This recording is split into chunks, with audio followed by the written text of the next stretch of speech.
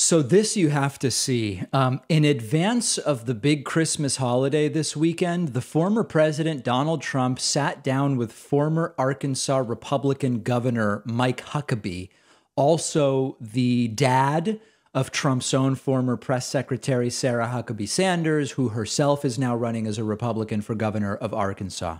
I don't think I've ever seen an interview like this. And a huge part of the interview is about a fake issue. Then that issue is the so called war on Christmas. There's music playing in the background. Mike Huckabee is really focused in on Christmas and sort of makes Trump out to be like a hero, I guess, for saving Christmas, for bringing back Christmas. See if you can, I challenge you, see if you can determine the number of lies told here. Let's just jump right into the first clip. America had gone through a long period where people quit saying Merry Christmas. It was all happy holidays.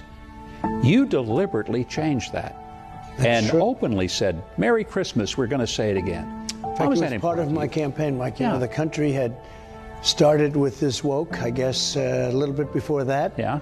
And it was embarrassing for stores to say Merry Christmas. You'd see these big chains, they want your money, but they don't want to say Merry Christmas. And they'd use reds and they'd use whites and snow, but they wouldn't say Christmas. And when I started campaigning, this was in 2015, when I started campaigning, I said, You're going to say Merry Christmas again. And now people are saying it. Of course, they're not saying a lot of other things like George Washington, Abraham Lincoln, Thomas Jefferson. You know, those names are being obliterated because of craziness. So, there was a long period where no one said Merry Christmas. That's not true. Trump said that part of his campaign was saying Merry Christmas. Now, that may be true, but how pathetic is that if it's true? Trump saying it like it's something to be proud of, but it's not. It's a joke if you ran on we're going to say merry christmas again which by the way we nobody ever stopped saying merry christmas. It was never embarrassing for stores to say merry christmas. There were some stores who chose the more inclusive happy holidays but like who really cares? And then trump says they also aren't saying things like george washington abraham lincoln and thomas jefferson who isn't saying those names? And also, what do those names have to do with this time of the year? Like, as I, we're reaching, this is sort of like uncharted territory in lies about what is happening in society and culture. People aren't saying these names, and Huckabee just nods along like this makes sense. Let's continue into the next clip.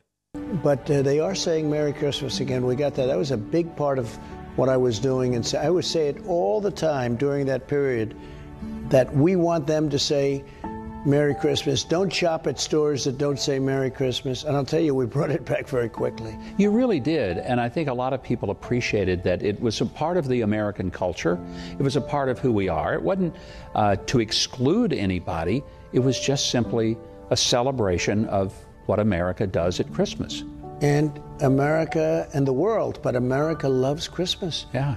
And whether you're Muslim, whether you're Christian, whether you're Jewish, everyone loves Christmas. And they'd say Merry Christmas until these crazy people came along and they wanted to stop it along with everything else. So I was very proud of that actually. Remember, I used to say, We will say Merry Christmas again in front of these massive crowds of people. So Trump says it like it's an administrative accomplishment. We brought back saying Merry Christmas. And he says even Muslims, I don't know why he pronounced it that way, Muslims like Christmas as well, which is really something else.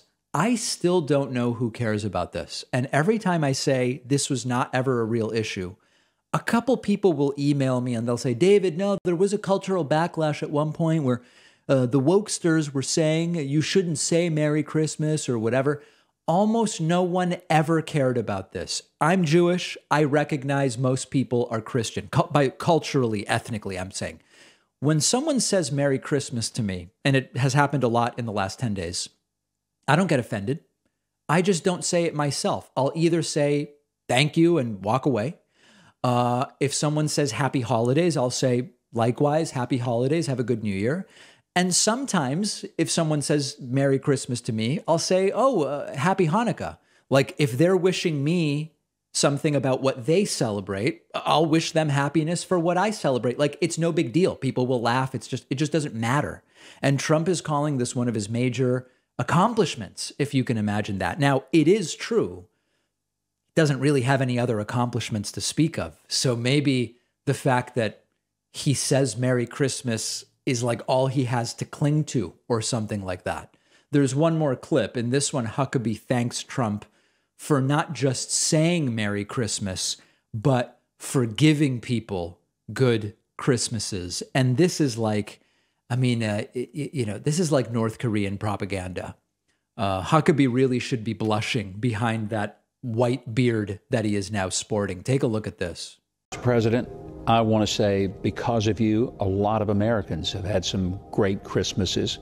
You helped rebuild the economy, pride in our country, made us a strong military once again, stood up to China when I think of all the ways that you led this country. Energy independent for the first time in 75 years. Right. No longer. I think a lot of people are hmm. right now saying, I wish Donald Trump was president right now, this year for Christmas. What a great Christmas present that would be.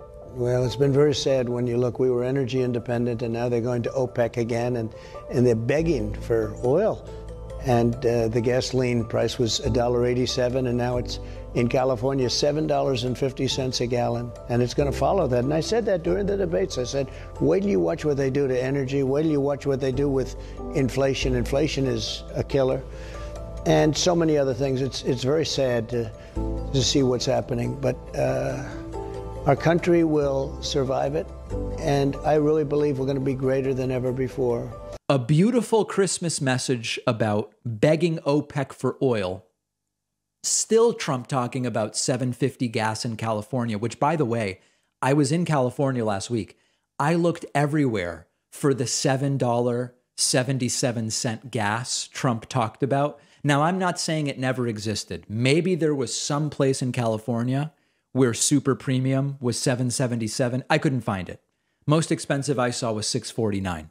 Let, by the way, I didn't put that in my rental car. I'm putting the cheap stuff in the rental car. I can tell you that for sure. Okay. So a complete and total propaganda piece there on Newsmax, and everybody involved should be completely embarrassed by it.